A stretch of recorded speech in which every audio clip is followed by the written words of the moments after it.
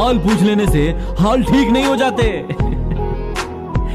बस एक तसल्ली सी हो जाती कि इस दुनिया की भीड़ में कोई अपना भी है। ना तो इतने कड़वे बनो कि कोई थूक दे। और ना ही इतने मीठे बनो कि कोई निकल जाए।